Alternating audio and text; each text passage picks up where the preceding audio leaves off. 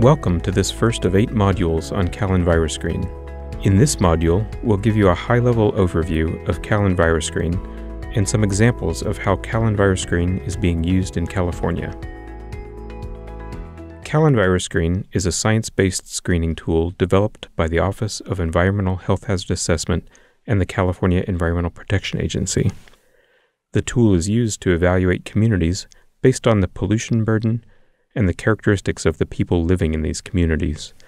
The tool is used to help identify communities that are disproportionately burdened by multiple sources of pollution and vulnerability to pollution's health effects. These training modules describe version 3.0, published in January 2017. The tool uses a set of indicators to characterize pollution and population characteristics within communities. It is geographically based and allows for comparison between different communities throughout the state.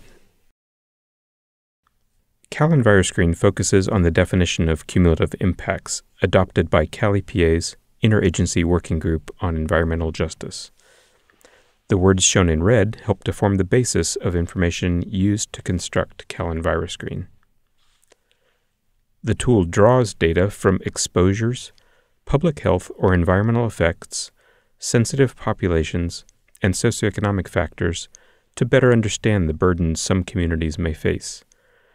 These data will be described in detail in later modules. Virus is being used for a variety of purposes. Virus results help to direct resources to communities in need. These resources include funding grants for sustainable growth or transportation needs in these communities. We'll identify other uses of Virus Screen in later modules.